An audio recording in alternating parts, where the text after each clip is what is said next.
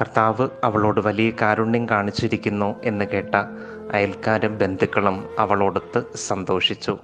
ലൂക്ക ഒന്ന് അൻപത്തിയെട്ട്. സ്നേഹം കൊണ്ട് സൗഖ്യങ്ങൾ നൽകിയ ക്രിസ്തുവിൽ സ്നേഹിതരെ അയൽക്കാർ ഈ പദത്തിന്റെ അർത്ഥം മങ്ങിത്തുടങ്ങുന്നതായി തോന്നിയിട്ടില്ലേ?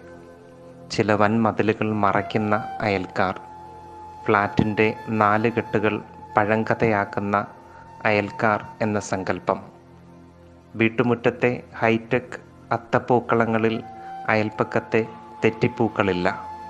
ചുരുക്കത്തിൽ കൂടുമ്പോൾ ഇമ്പമുള്ളതാണ് കുടുംബമെന്നൊക്കെ നിരവധി തവണ കേട്ടിട്ടുള്ളതുപോലെ കൂടുമ്പോൾ ആരോഗ്യം കൂടുന്നതാണ് അയൽക്കാർ എന്നുകൂടി പറയേണ്ട കാലം അന്യമായി പോകുന്നു.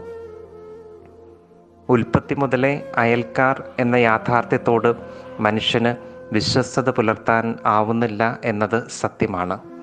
അന്ന് കായേനിൽ നിന്ന് തുടങ്ങി നല്ല സമരിയാക്കാരനിൽ വരെ എത്തി നിൽക്കുന്നു.